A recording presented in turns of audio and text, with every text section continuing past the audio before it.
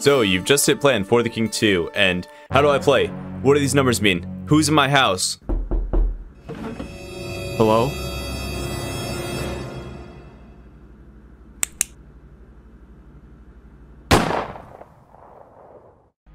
What's up everyone, this is Genuine. We're going to be taking a look at all 12 classes in For the King 2, what their roles are, their primary stats, skills, and also I'm going to be giving you a ranking based on early impressions. The game is still fresh, and of course there's always the chance that we'll see some nerfs and buffs and balances just to make the classes play better.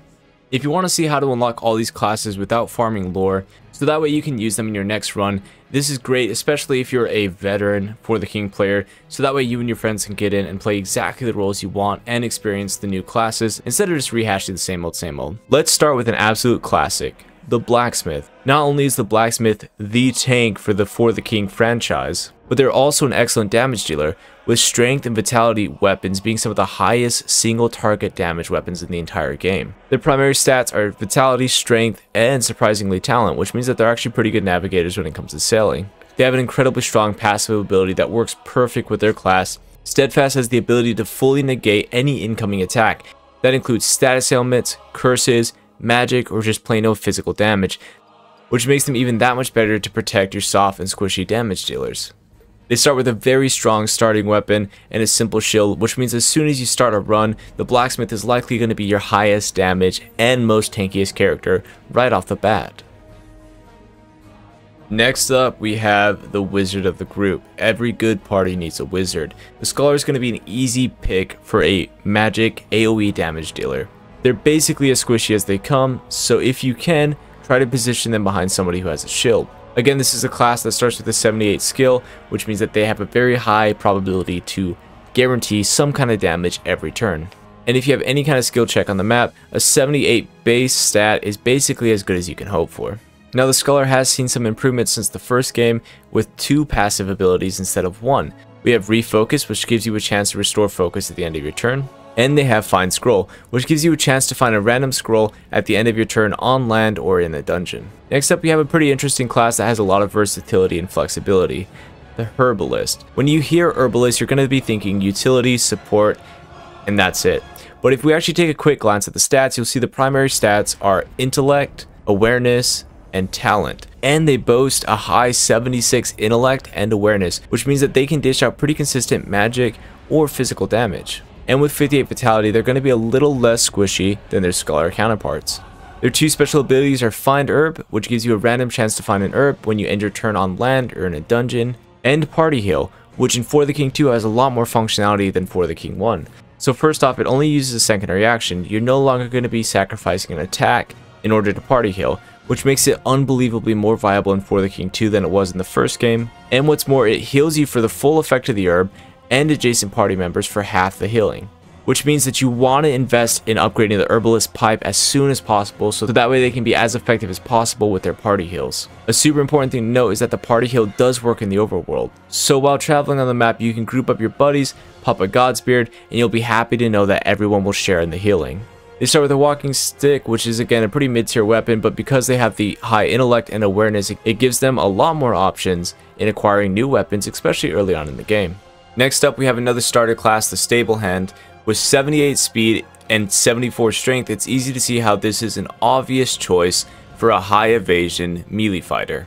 The Stable Hand has low vitality, however, which means if you fail to dodge, you're going to be punished extremely hard, especially early game. At the end of the day, the Stable Hand and Hunter do fill similar roles, being high single target damage and high evasion. Where they really stand apart is the special abilities. So the stable hand has hard work, which gives them another primary action whenever they spend their last focus. At a glance, this sounds amazing, but when we consider how seldom that we're actually regaining focus, it doesn't proc very often, and because of how this ability procs when you spend your last focus, that means you're always going to want to maintain either 1 or 0 focus, which doesn't put you in a good position to disarm traps, do skill events in the overworld, or guarantee a big hit. They start with a wooden sword, which is a good starting weapon, and it's a one hand so as soon as you find a shield it's an obvious first choice to give it to the stable hand. Finally we have another classic RPG class, the Hunter, with 78 awareness, 74 speed, and 60 talent slash strength you can see how already this class fills a similar role to the Stable Hand. Now where the Hunter comes ahead in leaps and bounds is the special abilities. They are the only class so far that has 4 special abilities. That is insane off the bat, but let's take a look at them. So first off, they have Elite Sneak, which gives them an advantage when sneaking past enemies. They only have to roll 2 slots when sneaking past solo enemies, or 3 for camps. After that, we have Elite Ambush, which is the similar vein, but this requires only one slot to ambush a solo enemy, or two slots for camps, which means with their already incredibly high awareness, if you just take a couple of awareness items, you'll basically be guaranteed to ambush enemies, which is a huge bonus to any team. After that, they have Called Shot, which gives them a random chance to perfect an attack with a bow which gives you a big incentive to take a bow with a heavy attack and just roll the dice on that every single time. And finally we have Energy Boost which gives you a small chance to gain one movement on the overworld. The way it's phrased however would make you think that it has the potential to give you another primary or secondary action at the end of a combat turn. However I have never seen that proc and I don't believe that's its actual function. I think the text should probably be changed a little bit to clarify a little bit better. But as far as we know right now it just has a random chance to give you an extra movement at the end of your turn on the overworld.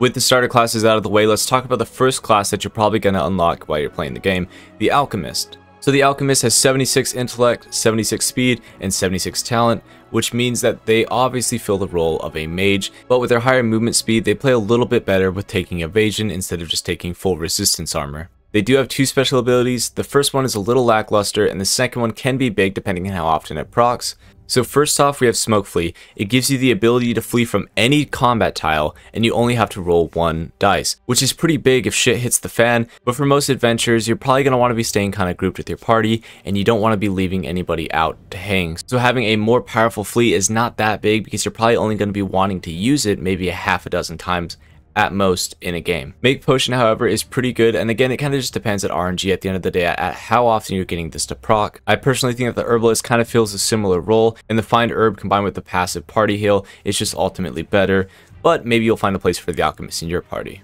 Next up, we have the Shepherd. With 76 awareness, 76 vitality, and 70 intellect, they are an incredibly unique and versatile class. They have the ability to take either an awareness weapon or a vitality weapon and tank with a shield, or they can even use spell tomes or staffs almost as good as an alchemist or a herbalist. Along with their reasonably high health, they also have the passive ability Herd, Herd gives you a chance to randomly find a sheep at the end of your turn while traveling on the overworld. What does the sheep do? As far as I can tell, it's just there to have its adorable face cleaved in half with an axe. Yeah, you heard it. I don't think you can sell them. I don't think there's any utility with them besides just tanking an attack. They are similar to the Farmer's Scarecrow, except for the Farmer's Scarecrow is temporarily, has a random chance to proc, and you can't bring it along with you into multiple fights. The Shepherd does start with the Shepherd's Crook, which is just a polearm that has the ability to push. You're probably going to want to equip them with the bow, or a one-hander and a shield depending on how you want to play the class as soon as you find them. Next up we have another returning class from the first game, the Woodcutter. The Woodcutter's got 78 strength, 74 awareness, and 66 speed, which again makes them another candidate for a melee fighter with high evasion, or with their high awareness you could potentially even throw a bow on them, but taking anything besides a two-handed melee weapon will give you a large penalty because of their special ability, Justice, which gives them a chance of adding splash damage to a perfect strike with two-handed weapon. With Justice being the only special ability for the Woodcutter, it essentially locks your class into one specific weapon type, which is extremely unfortunate, and because of that lack of versatility, you'll probably have a hard time choosing the woodcutter over more tanky melee options, but maybe you'll find a place for the woodcutter in your team. They do start with a very strong starter weapon, however, the wood axe, which lets them delete early enemy really fast, meaning you don't have to spend as much Godsbeard or Inn from taking damage, so there is a bit more of an incentive to grab the Woodcutter. Next up we have the Pathfinder with 76 awareness, 70 talent, and 70 speed. You're going to find the Pathfinder fills a similar role as the Hunter, but with a lot less solo ability. They don't have elite ambush or elite sneak, which means that they can't get around the map and attack enemies single as easily as the Hunter, but they do have a lot of utility with their two abilities, Scout and Survey. Scout gives you a chance to reveal the contents of the next dungeon room, which does have some utility, but I challenge you this. You can't leave a dungeon, so you're gonna go to that next room and you're probably gonna wanna stay topped up on your health the entire time you're in a dungeon. So does it entirely matter? No, but it does let you cater your build specifically to the enemies in the next room, especially late game, where you might have a full build for shock resistance, or you might have a full build for flame resistance or magic damage. So it does have utility, granted, but its usefulness is kind of far and few between compared to some of the other special abilities that we've already looked at. Now what I think is the stronger of the two abilities, Survey, it gives you a chance to discover hidden overworld points of interest, which means anything on the overworld that is generated with the map seed, alluring pools, dungeons, catacombs, points of interest, towns, sanctums, you name it. Survey is very useful, however if you play your cards right and are just deleting enemies, you're going to have more than enough gold to buy some vision scrolls, and if you have a little bit more speed, like the stable hand does, then you're just going to have an easier time getting around the map and actually getting to those points of interest. For those two reasons, I actually don't think Survey is that great. Yes, it does save you some time, but for the most part, you're going to want to explore 90 to 100% of the map by the end of the game anyways, so it just kind of helps you get to points of interest faster and with less guesses, but at the end of the day, it doesn't have that much utility. They do start with a good weapon, however, the Cracked Bang, which is just a mid-tier boomerang, but it does have the ability to target all enemies in one row, which with this item you can very easily demolish swarms of enemies. However, a lot of classes do have splash attack damage, which means that they're going to be hitting three enemies for potentially more damage. So all in all, the Pathfinder is okay, I just feel like there's other classes that kind of do the same thing as Pathfinder, but with slightly to much better abilities let me introduce the farmer. With 74 awareness, 74 strength, and 74 vitality, they're primarily going to be fulfilling the role of a high durability damage dealer. Now I do say damage dealer and not tank specifically because of their special ability. Their special ability is Build Scarecrow, which gives them a chance to randomly build a Scarecrow on any available front row combat tile, and I do want to emphasize front row because it provides protection behind it like a tank would with the shield. The Scarecrow has 5 hit points and takes 1 damage every turn that it's on the field, and every time it gets attacked. So it could potentially tank 5 attacks, but you're most likely going to get 3 or so good uses out of it before it expires. And I do want to emphasize the Scarecrow does protect whoever's behind it, which means it's excellent to use in a party with some squishy damage dealers like the Scholar or the Hunter. They can stand behind their own Scarecrow and not worry about taking damage. This makes them a pretty decent class combined with their high awareness to do some solo ambushes and get out of it without taking much damage. They do start with a decent melee weapon, the Pitchfork, which is just a high damage polearm. Next up, we have the good old Friar. The Friar has 76 intellect, 76 vitality, and 68 strength, which means that they're going to fill the role of a magic dealing tank or just a really durable mage. Now, they have some hilarious passive abilities. They have Cheers, a chance to pass on the effects from an alcoholic beverage to neighbors in combat, which means when you throw back some alcohol, you'll have a chance to give the buff and debuff to your allies. Now, I do want to emphasize the debuff because as the Friar, you might forget that you don't take any debuffs from alcohol, but your allies do. With the next special ability, Iron Belly, you negate all negative debuffs from alcohol, which means you can throw back whatever you want as often as you want. This is a very powerful special ability as long as you make accommodations to make sure the Friar is always topped off. With Iron Belly and Cheers, that means one person on the team is at least going to be sober and have the full benefit of the alcohol that you used, especially if it's a damage negating buff. You could potentially save the entire team in a dicey fight when Cheers procs. Lastly, they have the best special ability to couple the other two, find alcohol. So similar to find potion or find herb or find scroll, you have a random chance to find it while traveling on the overworld, which just makes their class that much more viable that you don't have to spend your precious gold on getting alcohol. They do start with a very strong intellect based mace and an intellect based shield, which is pretty unusual, which gives them the skill guard and a little bit of resistance. Lastly, and one of the absolute worst classes in the game, it's a bit of a meme, the Hobo. The Hobo has 70 stat points across the board, besides Luck, which only has 50. Now, in For the King 1, you might have found a lot of utility with a Hobo, and you would be incorrect to assume that they have the same utility in For the King 2. Reason being is because you have 4 party members, it is a lot easier to get a well-balanced spread of skills across the board to basically guarantee you have someone who is best at doing every kind of skill check on the map. Let's paint a scenario though. Let's say your buddies tripled down on a class and took 3 blacksmiths and you're considering taking the hobo so that way you have a perfect spread across the board and you're going to have an easy time doing skill checks on the map. Unless you're taking straight mage armor that gives you a lot of extra focus points and popping golden roots left and right, you're going to be worse off than a scholar would be at doing those skill checks. A scholar gets refocus and already covers a lot of the bases that a blacksmith doesn't, which means that which means the scholar is going to be more capable of just focusing down skill checks, and providing the team with a high variety of high stat points, which is going to make them more likely to succeed at unfocusable skill checks. Combine that with the fact that the Hobo has no special abilities, they really don't have a place in For the King 2. Yes, in For the King 1, choosing the Hobo was not the worst choice. There's only 3 team members, which means it's a lot harder to cover all your bases with just your 3 team members. But in For the King 2, even if someone doubles up on a class or doubles up on a similar role, it is very difficult to not have a good spread of stat points, and with no special ability, in the long run the hobo is only going to suffer. I threw together a quick tier list. This is based on early impressions and keep in mind that classes may be buffed or nerfed with patches and hotfixes in the future. Keep that in mind, this is mainly for beginners to just see maybe what a good team comp could be at a glance. Let me talk about some notable classes real fast. So the Blacksmith, if you want a tank in your group, the Blacksmith is the tank of For the King.